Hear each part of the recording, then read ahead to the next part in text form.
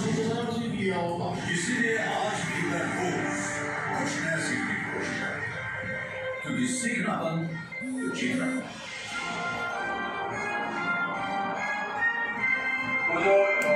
Kartiki Kumar